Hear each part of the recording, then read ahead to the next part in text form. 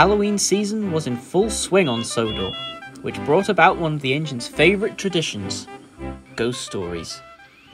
And every year, on the date of the accident, it plunges into the gap shrieking like a blah blah blah. We've all heard this story before. Get some new material, Percy. Look, Thomas, it's not exactly easy to come up with a good ghost story that won't get laughed away before it's even finished. I'd like to see what you can come up with.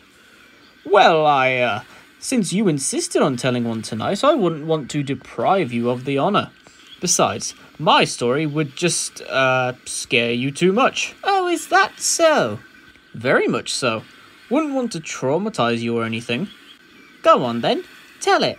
Don't worry about me. I can handle. I've got one. You? You've got a good ghost story? Well, good is subjective, but I don't doubt it'll be interesting at the very least. Well then, you've got my attention. I give it five minutes before we've been bored into wanting my story again. Shush! I want to hear this. Take it away, Toby. Well, this story takes place many years ago on a railway far, far away from ours. There was a large diesel engine who worked on a small branch that served a harbour and a scrapyard. No one can remember the diesel's actual name, however, at some point people began calling him Diesel 10.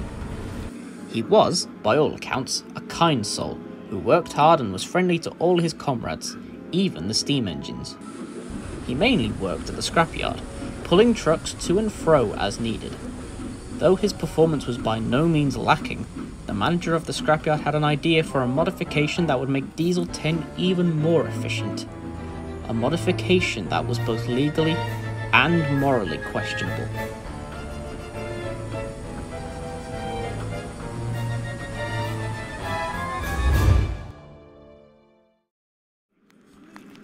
One morning, the men showed up for work as usual and were surprised to find that Diesel 10 had been outfitted with a large mechanical claw.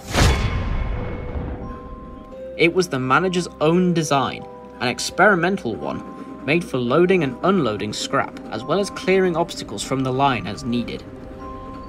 The claw was certainly met with some controversy. Many people argued whether such a modification could or should be made. But what they'd failed to realise, however, was how the claw was affecting its engine. It said that the claw changed Diesel 10. What do I mean by that, you may ask? Well, the kind, gentle giant diesel everyone had come to love over the years began to fade away, and in its place, a new persona dawned, though this one not nearly as comforting. He became reclusive, angry, and spiteful. He'd frequently lash out at the workmen and the steam engines. Oh my, he could make even the toughest steam engine's boiler run cold on the hottest of days. He'd hurl insults and threats at them, telling them how obsolete they were and how diesels were destined to take over.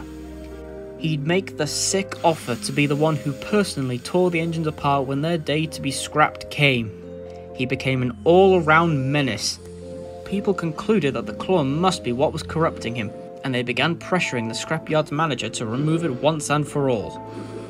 But he stood by his decision, claiming the claw worked like a charm and made the work quicker. Over time, however, he would come to regret his decision.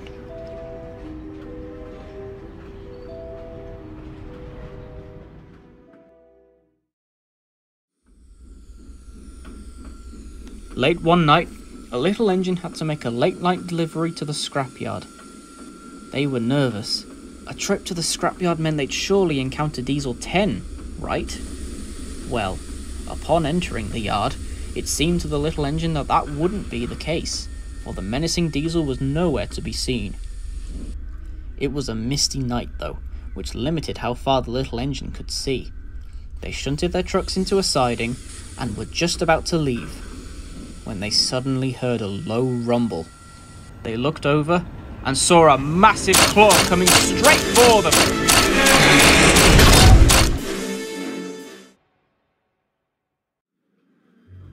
The next morning, the men arrived for work once again and were horrified by what they saw. There was Diesel 10, looking as evil as ever, staring coldly down at the remains of the little engine. He'd torn them down to pieces, and now all that remained were jagged shards of metal. Everyone was shocked and outraged. They all blamed the manager. You could have prevented it, they'd say. Realizing he had no other choice, the manager scrapped Diesel 10 in disgrace. It wouldn't be enough to save his scrapyard though, for with all the negative publicity surrounding it, nobody wanted to do business there. The scrapyard was shut down not long after, and now with one of its two served industries closed, the branch followed closely behind. Diesel 10 was quickly forgotten about, and nowadays most consider him a legend over someone who really existed.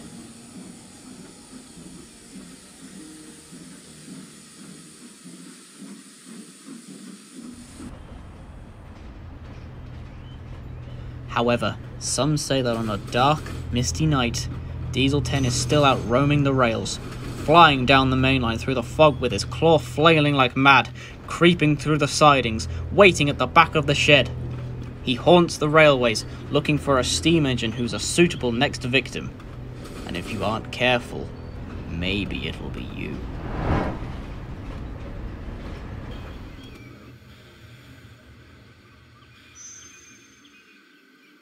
Wow, that was that was actually really good. Like really good. Yeah, good job, Toby. Where'd you hear that one at? Oh, I don't know. Probably a workman or station master some time ago. nice. Too bad it's easily the most fake story I've ever heard, because it's actually pretty intriguing. Fake? What makes you say that? A huge diesel with a claw. Come on, do you actually have any idea how illegal that is? If someone actually tried that, they'd have so many legal issues on their hands, they'd be sorry they ever tried it. Interpret the story how you will, but you know how ghost stories tend to go. The non believers are always the ones they go after first. yeah, Percy, you'd better watch your bunker, otherwise, you might end up with a claw poking into it. Hmm, yeah, whatever.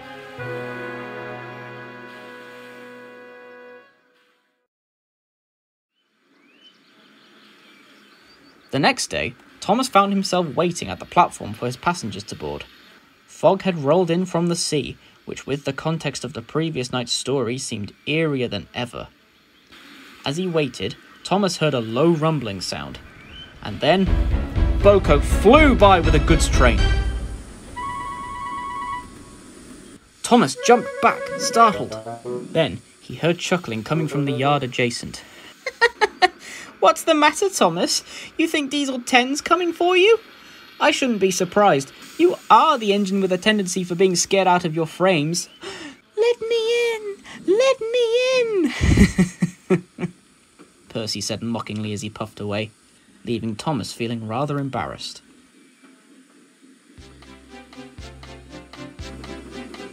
Percy was feeling quite pleased with himself.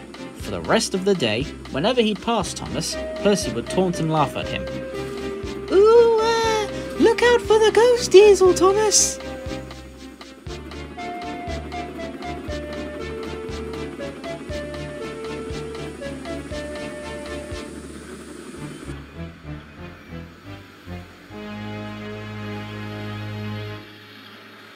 Oh, I've damn near had it with Percy's arrogance. I'll bet you he wouldn't be so confident if he really saw that diesel. That's just how Percy is. I'd reckon you'd do the same to him if you were in his position. You've just got to put up with it for a day or so. He'll get tired of it soon enough. Thomas could only hope so. What neither of them realised, though, was that they wouldn't have to wait as long as they'd thought. That night, Percy was set to take the post train. He'd simmered happily at the harbour, waiting for his vans to be loaded. It didn't take long, and soon he steamed out of the harbour.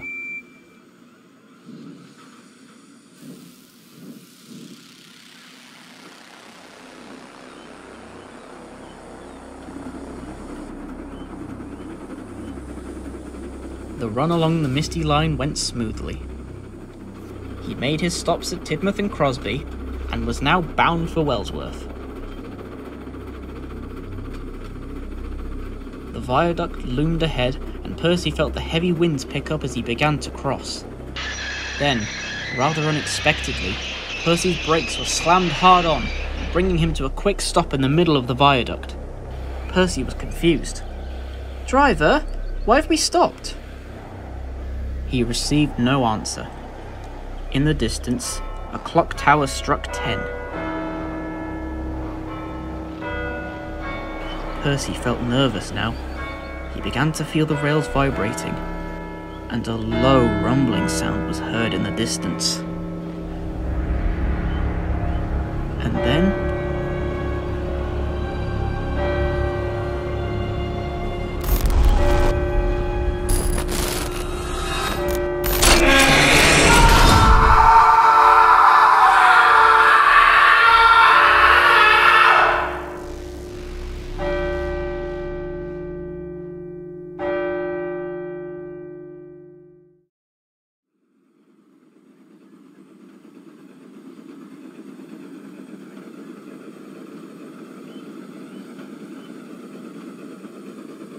following morning, Edward arrived with the breakdown train and the Fat Controller.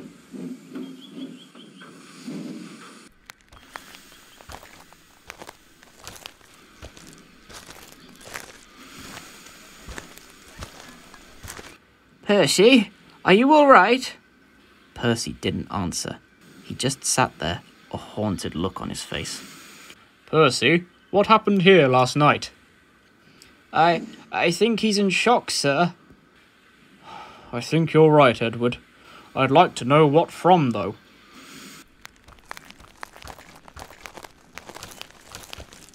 Ugh. What happened here? Well, I was hoping you could answer that. I don't know. Oh, last thing I remember was us starting to cross the viaduct. Next thing I know, I've just woken up in a bush with the fireman. Oh, my head feels all sorts of foggy like the worst hangover of my life. I second that. I feel awful, and I have no clue what's happened here. Hmm, I see. And what of the guard? The guard? He wasn't with us, I don't think. Maybe he's still in the. Oh my god! There, sitting where the brake van should have been, was a splintered pile of wood and metal. It was all that was left of it. What? What happened? Hmm. I don't know. And it seems the only one who can tell us that is unable to speak at the moment. We'd better get this cleaned up. Edward, after the van's ruins have been dealt with, take Percy and his mail vans back to Tidmouth. Let him rest for a while. It looks as though he needs it. Yes, sir.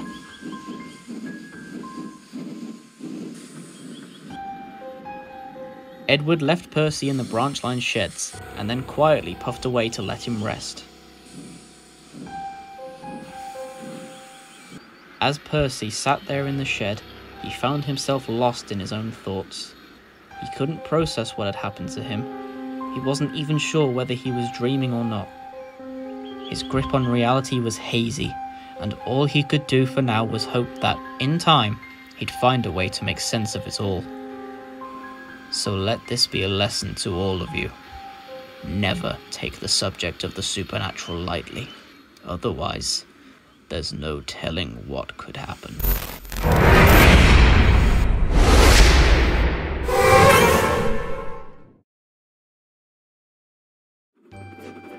Fall had come, and the engines of the little railway were working hard.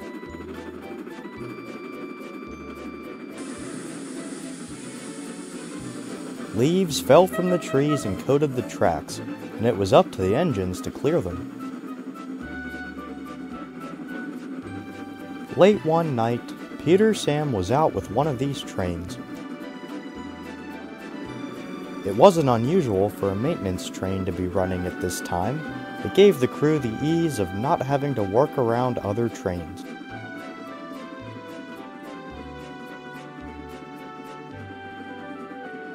Peter Sam was the only engine running and enjoyed the solidarity. He hummed a tune as he puffed down the deserted line, basking in the cool night breeze.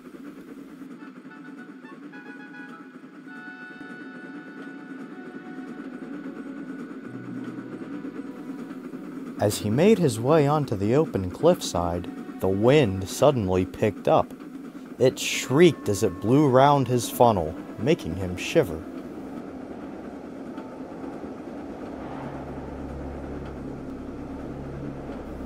Then, through the darkness, he noticed a figure standing next to the tracks. What's that man doing up there? He'll fall if he isn't careful. He focused his attention back onto the figure to call out to them, only to find them gone. Driver! Driver, stop! Someone's fallen off the cliff! Peter Sam's driver applied the brakes and brought the train to a stop. He stepped from the cab and stared into the darkness of the ravine below, where he could see there was no one at the bottom of the cliff. Confused, he explained the situation to Peter Sam, climbed back into the cab, and then continued onward.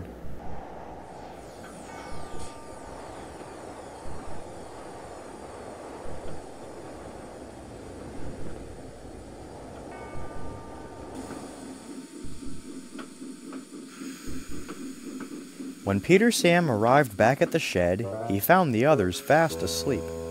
Still rather overwhelmed from earlier, he gave a blast of his whistle to wake them. Gah! I say, what was that? That'd be Peter Sam blasting his whistle in the dead of the night and waking me up? What gives? Uh, uh, whatever this is, it had better be damn urgent. Oh, um, yes, uh, sorry to wake you all. I, I was just, uh, well, uh, hoping you could help me understand what happened tonight. well, that depends on what happened now, Peter Sam. Peter Sam quickly explained what happened. And when my driver looked for him, he was just, well, gone.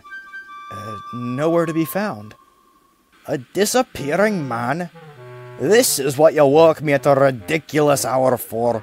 I've half a nerve to. That's quite enough, Duncan. Everyone looked over to Skarloey. It was unusual for the number one to snap like that which meant whatever he had to say was of the utmost importance. I didn't want to have to revisit this memory. It's quite unpleasant. Uh, but I'd hardly say I have a choice now.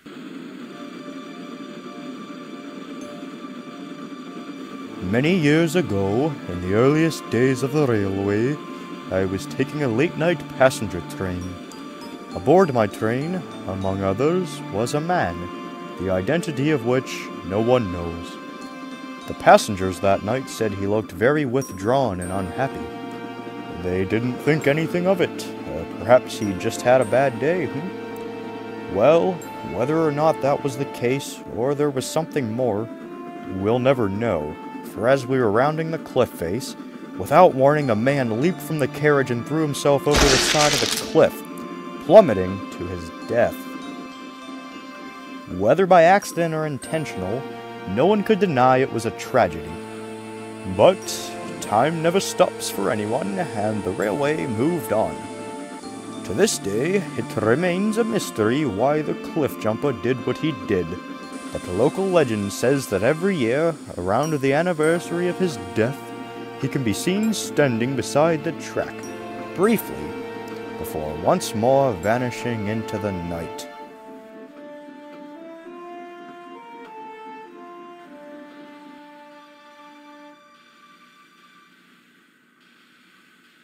The engine said nothing as Skarloey finished his story.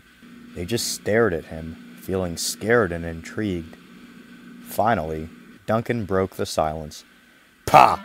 What a load of rubbish! For God's sake, Duncan, show some respect. A man's life was lost.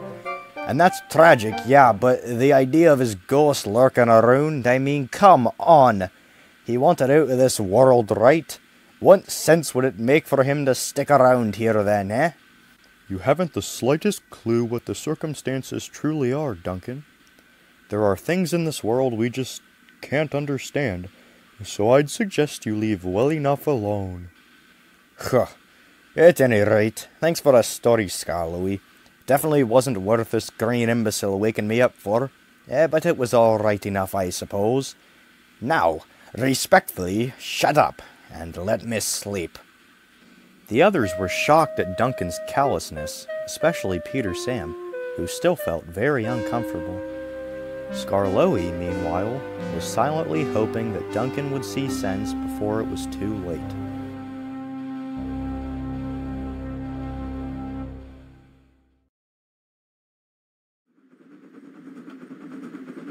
Next day saw the little engines once again working hard. Duncan was to spend his day pulling slate to and from the quarry.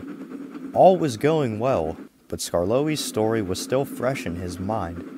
Despite his confidence the night before, Duncan had been deeply moved by the story.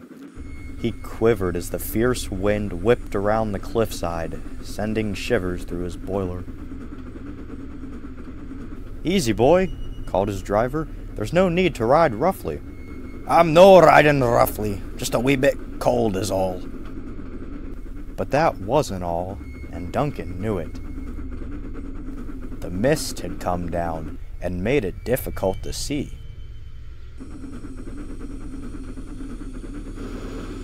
As Duncan entered the quarry, he suddenly saw the shape of a man standing beside the line. Startled, Duncan shot forward and right off the rails. Blimey, you all right? It had only been a workman. Duncan now felt very foolish indeed. It was getting late by the time the workman had re-railed Duncan. He still had a slate run to make, so he quietly waited for his trucks to be loaded, and then backed onto them and set off.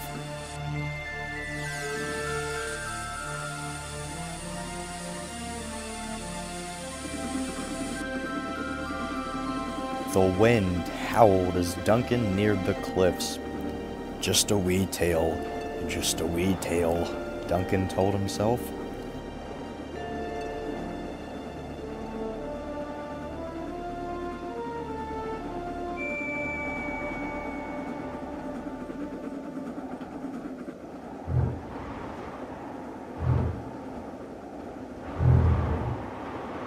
Then, as Duncan rounded a bend, he saw him, the shadowy outline of a man illuminated by the faint moonlight. He looked sadly at Duncan, who was trembling too badly to move. The man stared for what felt like an eternity. Then, with a tear rolling down his cheek, he said something that made Duncan's heart stop. I. I loved him. And then the man turned and leaped off the side of the cliff. Duncan was horrified. G- g- g- g- g- Duncan? Duncan? Is everything all right up there? g- Ghost! It's the ghost! Ghost? What ghost? The man! He was there. He. He. He jumped. He. What man? Duncan, there hasn't been anyone there. I. I think you need some rest. Uh, perhaps you hit your head when you crashed earlier. Come on now, let's get you home. And Duncan set off again, wondering whether he'd really seen the man or if his mind had simply played a nasty trick on him. But we know, don't we?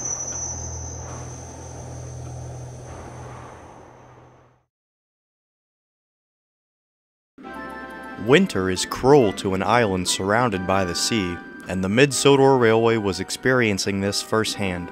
The cold winds blew fiercely, and the snow fell heavy, coating the line and everything surrounding it. The engines found work difficult, and one morning they were complaining about it in the shed.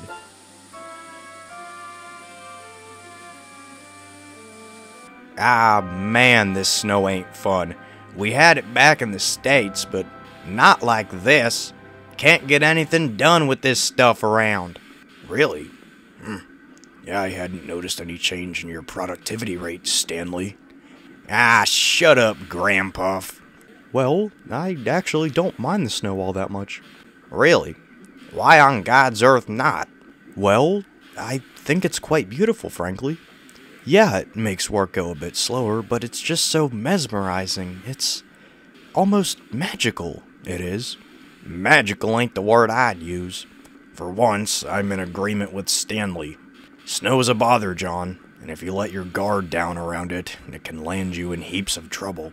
No amount of beauty will make up for a serious accident it causes. Eh, I'm careful enough with snow. I know how to handle it. I've never had an accident in it, and I don't plan on starting anytime soon. Easy for you to say.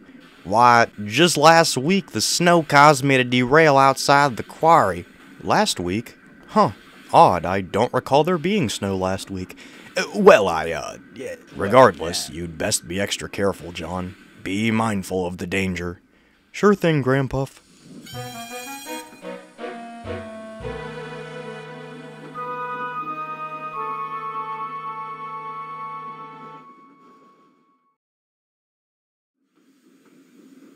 A few days later, the snow was still falling. John had just returned home with his final train of the day and was now resting in the shed when he noticed the manager trudging through the thick snow towards him.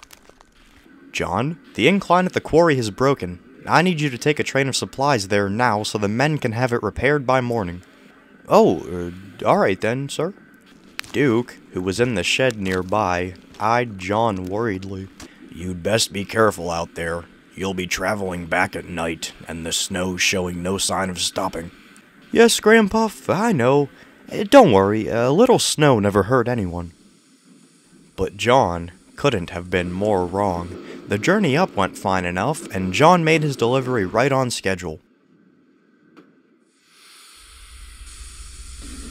The trip back, however, wasn't as smooth. The snow pelted down, and John could hardly see Worse still, the heavy drifts were beginning to become too much for the little engine, and soon he and his crew had to accept that they could go no further. They stopped at a station where they weighed their options. Hmm, we can't just leave you out on the main line. It's not safe there. Well, uh, what about that siding there? Are you sure about that? That'll leave you with no cover all night. Yeah, I'll be fine. I've endured worse than this so John's crew parked him in the siding and then left to walk to a nearby inn. At first, it wasn't so bad, but the heat from John's boiler quickly died out, leaving nothing to melt the snow piling up around him. Uh, oh well, it's just for the night. I'm sure everything will be alright. It's just a little snow.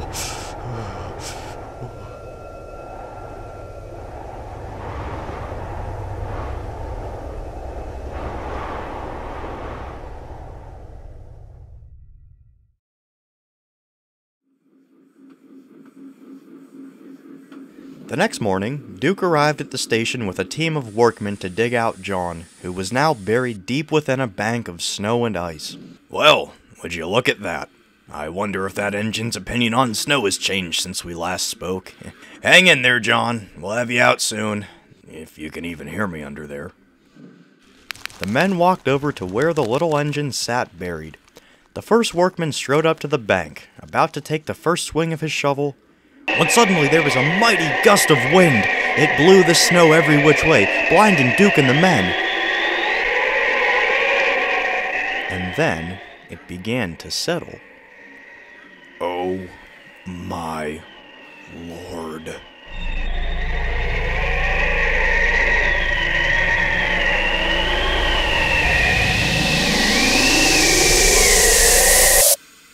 What, what happened?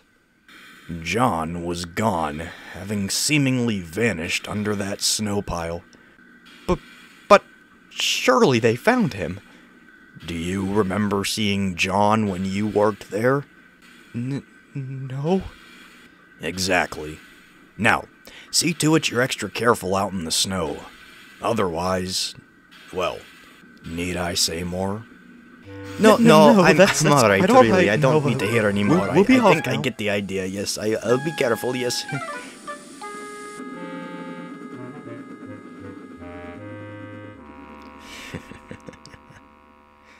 that was quite a story, Duke. Did, did that really happen? Heavens, no. They found John frozen to his frames under that snowbank. He was real quiet about snow after that. He was sold off to a privately owned mining company before Sir Handel and Peter Sam arrived. You have to admit, though, it's a pretty good story. Indeed. Why, that may even stop them complaining when we tell them to be careful in the snow. Especially Duncan after that business with the cliff jumper. Yep, nothing a good story can't fix. Though I must admit, I'm beginning to run low on spooky tales. Well, I heard one from this diesel not too long ago, and from what I can tell, it may have actually happened. Would you like to hear it? Hmm. Sure.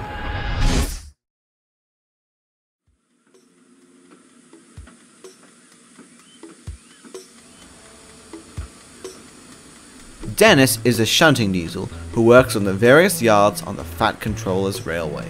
He's a more than capable worker, when he wants to be, which isn't all that often. To put it nicely, his work ethic has some room for improvement. But if you were to ask some of the other engines, they wouldn't put it quite as politely. Dennis is constantly doing whatever he can to get out of his work. If you can think of an excuse, he's probably tried it. Because of his laziness, Dennis isn't very well liked by his coworkers, though the way he acts, he doesn't seem to care. One morning, the Fat Controller came to visit Dennis in his shed. The scrapyard at Barrow is quite backed up at the moment, and they are in need of an extra shunter. I've volunteered you for the job. You'll be working there for the next few days. Dennis was horrified. But, sir, I don't want to go there. Why can't you send someone else? The decision is final. You'll leave for Barrow within the next hour, and while you are there, I expect you to be on your best behavior. Should I receive reports of you being, um, unproductive, you will be one sorry engine. Do I make myself clear? Yes, sir, Dennis said dryly.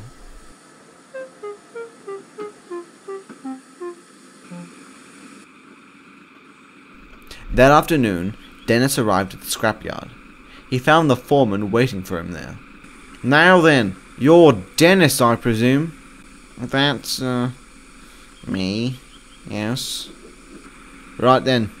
A train of scrap just came in. I want you to collect the trucks and organize them in the sidings. But, but, sir, I, I just had a draining journey. Can't I have a bit of a rest first? No time for that, I'm afraid.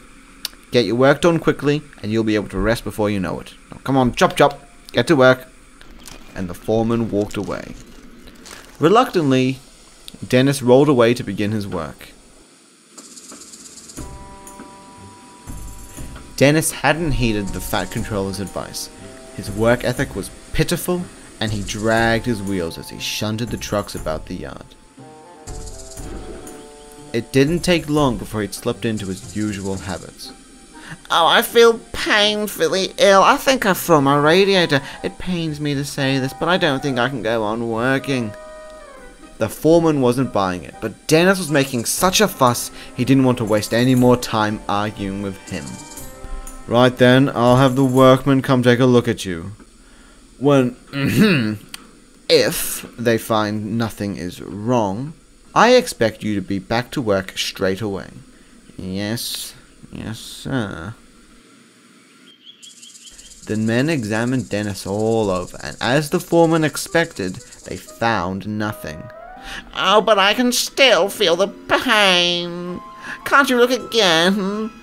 Surely you've missed something. No, we haven't. We've wasted enough time here, now get back to work. You don't want to see that foreman when he's angry. Some workplace environment this is. Making sick engines work when they're in pain. Dennis said indignantly as he rolled away. Over the next few days, Dennis continued trying to find ways out of doing his work. Oh, my axle box is run hot. My engine is overheated. I think I've taken on some bad fuel. Eventually, the foreman reached his breaking point. Fine! If you don't want to work, then you'll sit at the back of the shed until you're sent home first thing tomorrow morning! To Dennis, that wasn't the cruel punishment the foreman thought it was. Finally, a chance to have a well deserved rest, he thought to himself. Dennis found a shed at the far side of the yard, where no one was around to bother him.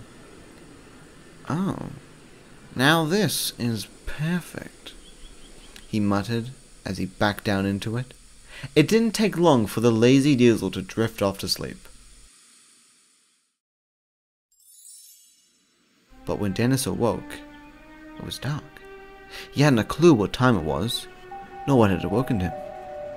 It didn't take long to figure out the latter, though. It was the humming of a diesel engine, a humming which belonged to a little orange shunter backing down into the shed next to him. The engine looked exactly like Dennis. The shed taken?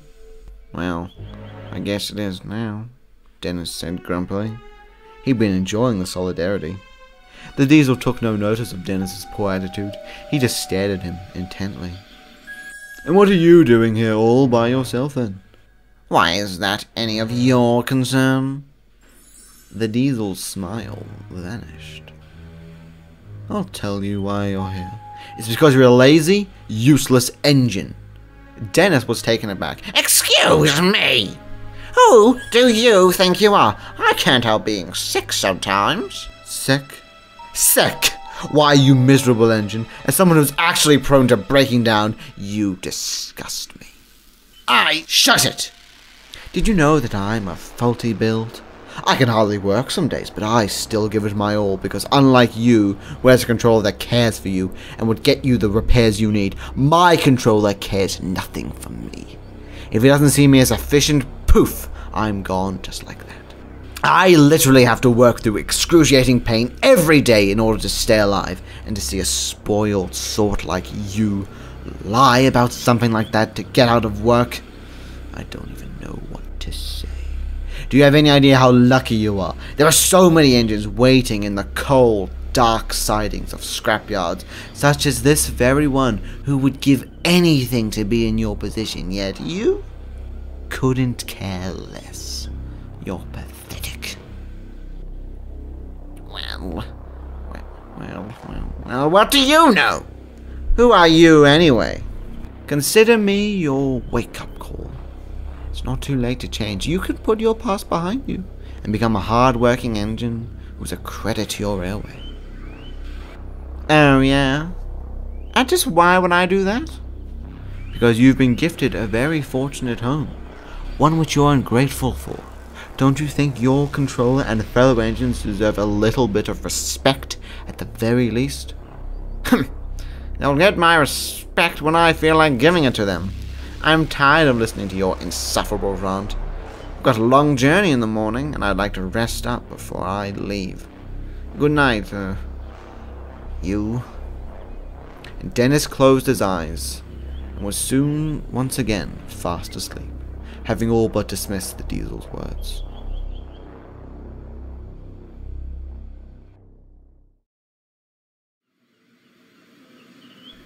The next morning, Dennis awoke bright and early. The diesel from the night before had gone, and Dennis was all alone in the shed. Soon, his driver arrived, and he drove Dennis over to the fuel pump to top off before the journey back to Sodor. As he was taking on fuel, one of the yard shunters rolled up next to him, awaiting their turn to use the pump. Oh, so you're bound for home today? Indeed. Not a moment too soon, eh? Um, no offense. I take it you didn't enjoy your stay then? Not really, no. And, uh, oh, uh, what's that orange diesel's name? Orange Diesel. Yeah, it looks exactly like me, but, um, you know, orange. Huh? Oh, Norman! that old hunk of junk was sold off for scrap months ago. Ah, I'm, I'm sorry? Yeah, he was a poor runner from the start. He finally gave out almost a year ago now. Foreman sold him off to be scrapped.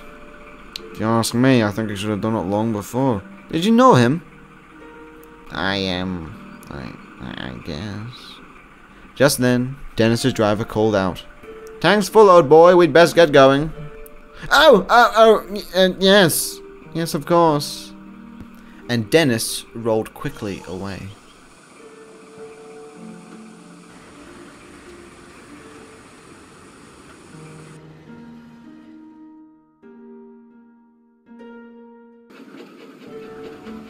Dennis is a changed engine now. His encounter with what he can only assume was his brother left a deep impact on him. These days, Dennis is a hard worker. He mainly keeps to himself, and though he sometimes feels the urge to find an excuse to stop and rest, he refuses to let himself slip back into old habits, for he now knows just how lucky he is. Dennis still thinks about Norman from time to time. He hadn't even known he had a brother. And even though they only met once, Dennis can't help but feel remorse for his late brother. Some nights, Dennis swears he can feel Norman's presence, but he can never say for sure.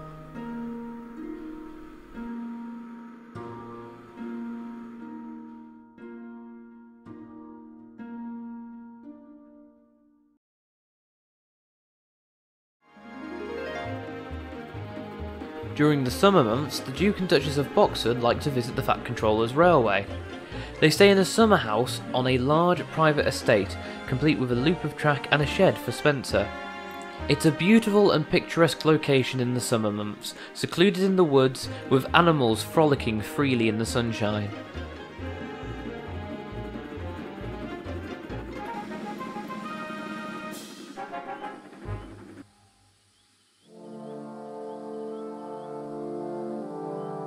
For the rest of the year, however, the loop sits untouched and unused. The engines have no reason to venture down it, for with no one staying there, the line serves no purpose, and so the large mansion and the track sit quietly, waiting for the summer months when they'll see use again. One year, however, the line was to be travelled upon in the off months.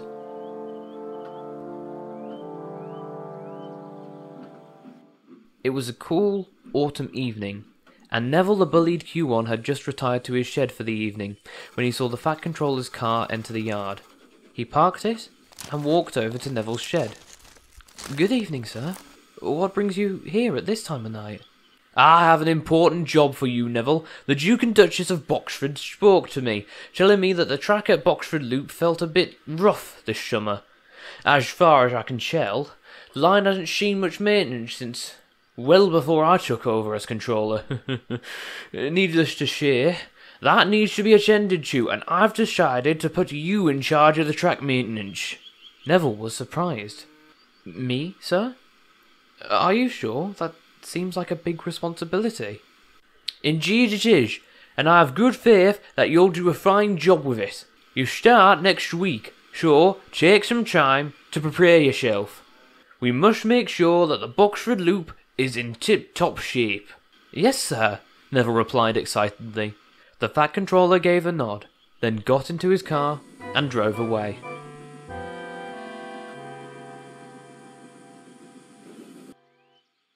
The weeks passed, and before Neville knew it, he found himself on his first day of his new job.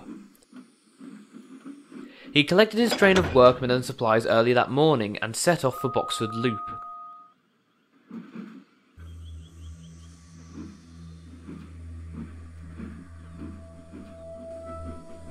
The sunny sky had become dreary and cloudy by the time Neville reached the loop's junction. A low mist had begun to settle, and it gave the line a very ominous look. The driver threw the points, and Neville slowly set off down the line.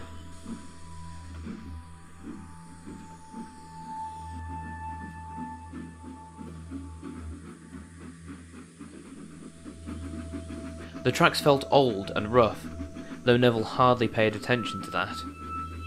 The mist made the secluded area seem even more liminal, and truth be told, it was putting him on edge. Wheel turn by wheel turn, he made his way down the branch. Presently, Neville saw the outline of a large structure cutting through the mist. It was the summer house, which didn't look nearly as inviting as Neville had pictured. It stood tall and still, high up on a hill uninhabited by anyone. He wondered to himself whether the Duke and Duchess would ever step foot in it again if they were to see it like this. Neville had soon puffed past the mansion, and it disappeared back into the fog just as quickly as it had appeared. He trudged on down the line and around the rest of the loop, struggling to keep his nerves in check.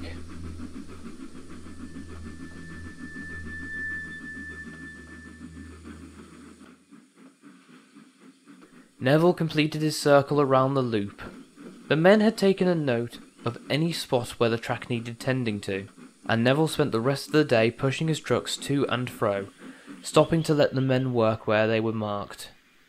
All went to plan, and as night broke, the men were packing up the last of their tools and preparing to head home. Just as they were about to leave, there suddenly came an ear piercing scream, followed by the sound of panicked footsteps charging through the forest all around them. The only light source came from Neville's headlamp, which was barely bright enough to illuminate even the outermost edge of the woods. The footsteps continued. Neville and the men were horrified. Get us out of here! called a workman. Snapping out of it, Neville's driver threw open the regulator and the train shot backwards. As they gunned it out of there, Neville could have sworn he saw a shadowy figure standing on the tracks, watching him puff away.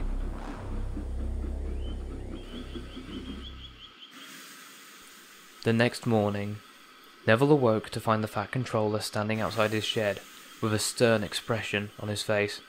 Due to unforeseen circumstances, he began, there will be no maintenance trains to take down Boxford Loop today.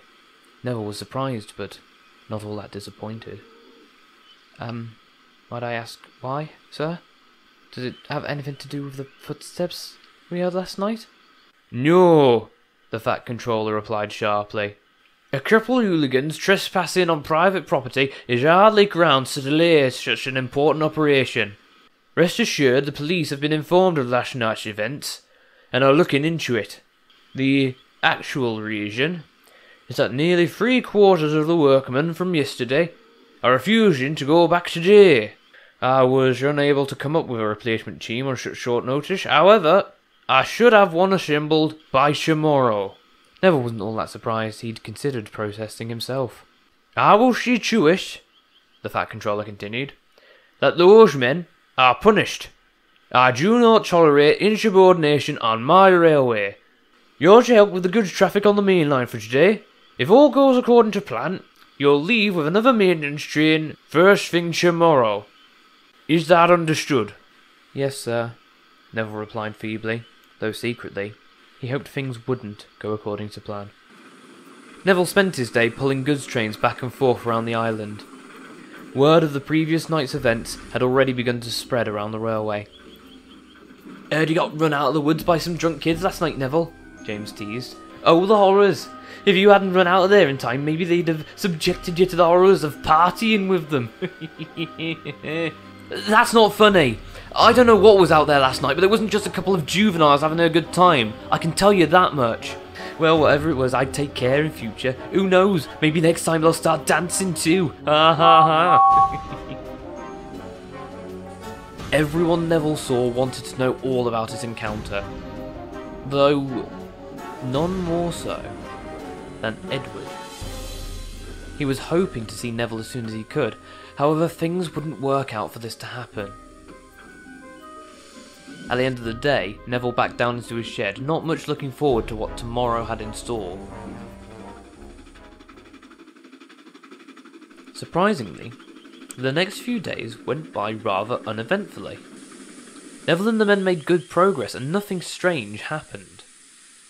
Neville was beginning to wonder if the events of the first night did have a rational explanation after all.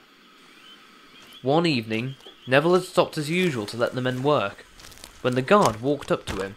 I've just received a call from up the line, he told him. There was a mix-up at the yard this morning. A van needed for Henry's fish train was shunted onto your train by mistake. You need to return it to the yard so it can be loaded in time for the kipper tonight. Leave the men and the tools here. It'll take them a few hours to patch up this bit of track. So, they should be getting ready to leave when you return. Uh, will do, Neville replied. And he set off up the line to bring Henry his van.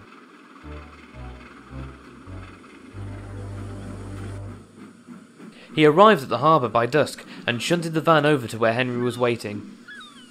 Sorry about the confusion. I came as soon as I heard, Neville said. Henry was about to reply, before suddenly fixing his gaze upon the van. Neville, what happened to the van? Neville looked over and gasped. There, on the side of the van, was a large hole. It looked fresh. I, I. I don't know. It wasn't like that when I left, or at least. Well, at least I don't think it was. It looks like someone broke it open with something heavy, like. like a hammer? An axe, maybe? Well, maybe one of the men had an accident with some tools? No, but surely I would have noticed that. I. Oh, I don't know. I'll ask about it when I get back. Again, I'm really sorry about the van, Henry. Neville finished, and he steamed away to collect the men, his curiosity now intrigued. It was dark when Neville returned to collect the men. The moon was full and shined the faintest of light onto the summer house. The men had put their tools away and were waiting in the coach. Neville buffered up to the train and was just about to puff away when suddenly. Another ear piercing scream, exactly like the one from the first night, suddenly rang out through the darkness. Neville's eyes darted around, looking for the source. In the faint light from the moon, he could just make out the shape of several figures charging through the forest, seemingly running away from the mansion. Neville was petrified and couldn't find his voice to call out to them. And then he noticed another figure walking through the darkness. It was making its way towards him and appeared to be holding something. The figure walked onto the track and stopped.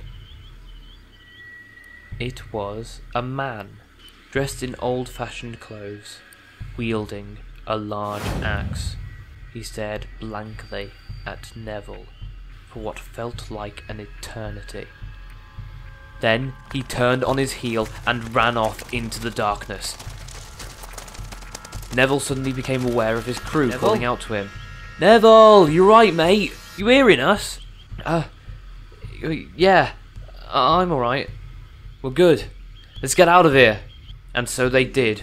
Neville pumped his pistons and raced backwards out of the forest as fast as he could.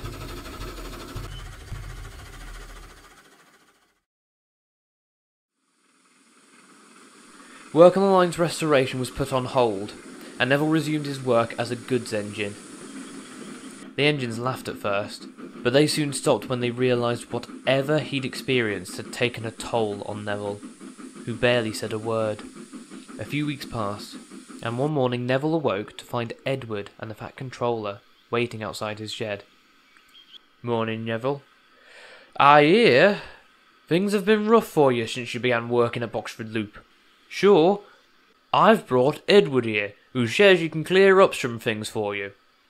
Take it away, Edward, the Fat Controller said, before he and Neville both turned their attention to Edward. Boxford Loop wasn't always owned by the Boxfords. In the early days of the railway, it was a mansion owned by a wealthy businessman and his wife. They had themselves a car, of course, for getting where they needed to go. However, they found it difficult to host large gatherings and parties, with the mansion being so secluded. So, they commissioned a privately owned railway line to run to their mansion and around the estate. They would then charter out trains for guests or supplies to be brought to them. That would be pulled by one of us Northwestern engines. One night, I was given a charter train of guests to be taken to the mansion for a party. I didn't get to travel there much, so I was happy to get the chance. I always liked the little scenic line. I dropped the passengers off and returned home to my shed for the night.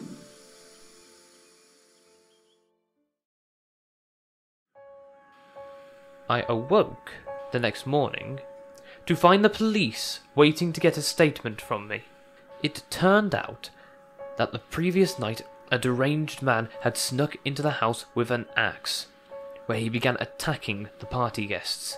In the commotion, many of the guests ran for their lives into the surrounding woods, where they were then hunted down and killed by the axeman before he would take his own life later that night. The tragedy left the owners of the house dead, and so the mansion sat unoccupied for many years until the Duke and Duchess of Boxford found it, whilst looking for a summer house decades later. Now, by then, the history of the estate was all but forgotten about the public, so I imagine it's likely the Boxfords have no idea of the horrors that occurred on the property all those years ago. Wait, so Edward, so, so you're saying I, you're saying I saw ghosts? I, I, I cannot be certain, Neville. But the incident did occur around this time of year, and those poor souls' lives were taken from them before they knew what was happening. I believe that you bore witness to the lost spirits of the guests, being forced to relive the horrific night that cost them their lives. But that's just what I believe, Neville. You can draw your own conclusions, but I think. Neville said nothing, for he was lost in thought. The Fat Controller ultimately decided not to go through with repairing the track. He told the Boxfords the history of their estate and told them if they wished to get the line restored, they'd have to come up with the means to do so themselves. Now aware of its history, the Duke and Duchess decided they wanted nothing to do with the summer house and sold it off. With the story now widely known by the public again, no one wanted it, and so it was left to sit alone and abandoned. Neville eventually made peace with his trauma, though from time to time he dreams of his experiences at Boxford Loop. He can only hope that the line will remain untouched for the rest of time.